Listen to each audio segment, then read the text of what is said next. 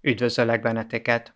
Aktuális leckénkben 210 fokos szöget szerkeztünk. A szerkesztéskor felhasználjuk azt a tényt, hogy 210 fok egyenlő, 180 fok, ami egy egyenes szög, plusz 30 fok. Valójában vegyük észre, hogy a 210 fok az pontosan a 180 fok és a 240 fok között helyezkedik el. Tehát azt jelenti, hogy a 180 és a 240 fok közötti szögtartományt kell, hogy felezzük.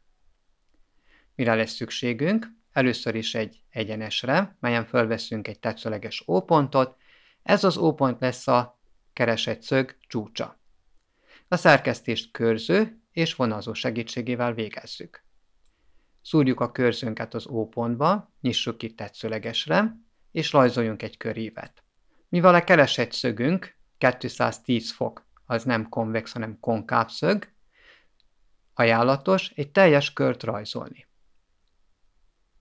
Ebből már a 180 fok adott, és valójában a 240 fokot úgy szerkesztjük, hogy megszerkeztünk egy 60 fokos szöget, és azt hozzáadjuk a 180-hoz.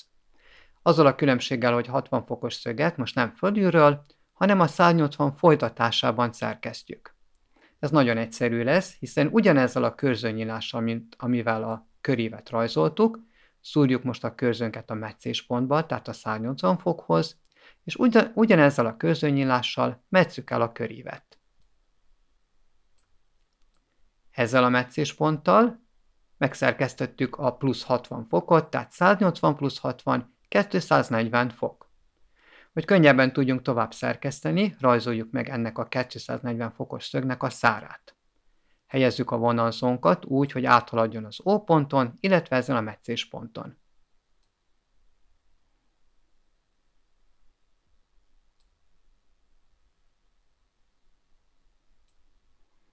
Amikor ez sikerült, rajzoljuk meg a kért szárat, az O pontból a, keresett, a kapott meccésponton át. Adott tehát a 180 fok, a 240 fok, ezt a szögtartományt kell most, hogy felezzük. Nyissuk ki körzőnket nagyobbra, mint fele a mostani körívünknek, tehát a 180 és a 240 közötti körívnek, ez most éppen adott, és ezzel a körzőnyílással rajzoljunk köríveket az egyik meccéspontból, illetve a másik meccéspontból. Ez lesz az egyik körív, majd a másik meccéspontba szúrom a körzőt, és az előző körívet elmetszem. Ennyi volt az össztudomány, hiszen feleztük a 180 és a 240 közötti szögtartományt, így a kettőnek a fele pontosan 30, amit hozzáadunk a 180 fokhoz, és megkapjuk a 210 fokot. Helyezzük a vonalzónkat egyrészt az O pontra, másrészt a meccéspontra.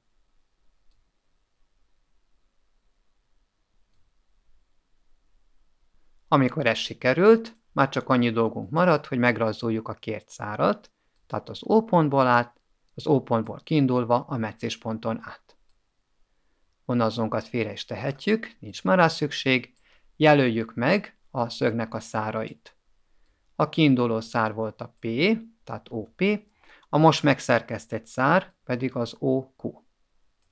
És a kapott szög, amit szerkesztettünk, 210 fok. Hogy jobban érzékeljük, rajzoljuk meg a kapott szöget, a P-től egészen a Q szárig.